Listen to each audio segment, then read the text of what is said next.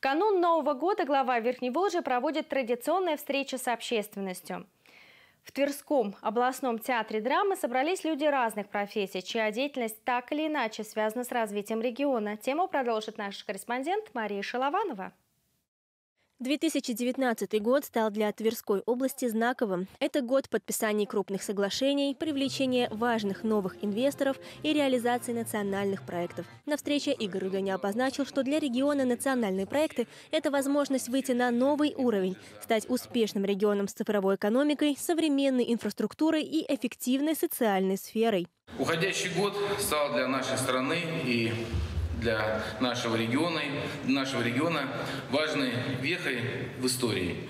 Началась реализация национальных проектов, которые разработаны по инициативе президента нашей страны Владимира Владимировича Путина по масштабу и системному подходу по достижению поставленных целей. Национальные проекты являются эффективным и важным инструментом социально-экономического развития России.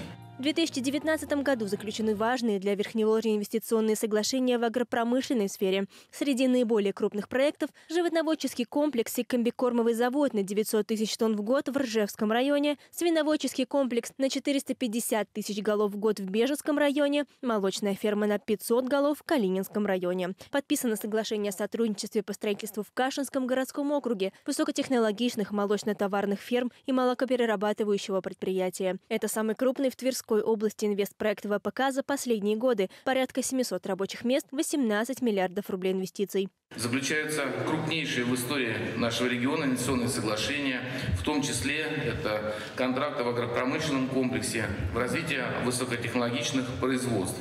Тверская область стала центром инновационного транспортного машиностроения. Это новая перспектива для развития Тверского и Торжокского вагоностроительных заводов и смежников, которые работают с этими крупными предприятиями. На новый уровень вышла государственная финансовая поддержка у малого и среднего бизнеса. Принято законы о льготной системе налогообложения, открыт единый центр поддержки предпринимателей. Тверская область с каждым годом становится все привлекательнее для бизнесменов. У нас есть и объективные наши преимущества в плане логистики, географического положения, но и есть ряд решений, которые в 2019 году позволяют нам быть более конкурентоспособными. Это пониженные ставки по упрощенной системе налогообложения, для сферы IT-технологий в 4 раза пониженные ставки, для большинства видов деятельности в 2 раза, из 6 до 3, из 15 до 7,5.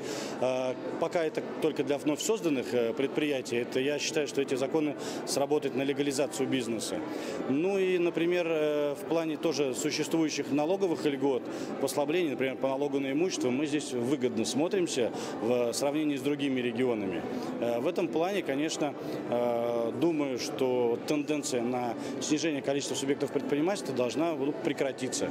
В приоритетной для региона сфере туризма началась реализация крупнейшего инвестиционного проекта «Волжское море». Также развиваются его исторические направления. Например, сейчас на федеральном и международном уровне активно продвигается личность Михаила Тверского. И, по словам экспертов, это способно значительно увеличить турпоток в регион. Это очень значимое историческое место. И, в общем-то, подвиг Михаила Тверского все помнят. Это героический подвиг, который а, он отдал свою жизнь за своих подданных, за другие своя. И мы очень хотим, чтобы эта тема звучала не только на уровне Тверского региона, но во всей Российской Федерации. И а, в том числе мы приглашаем сейчас послов.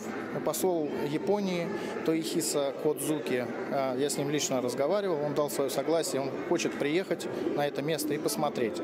Губернатор поблагодарил участников встречи за вклад в развитие Верхневолжья и выразил уверенность, что совместная работа позволит достичь высоких результатов в 2020 году. Закончилась традиционная предновогодняя встреча спектаклем, посвященным наступающему празднику.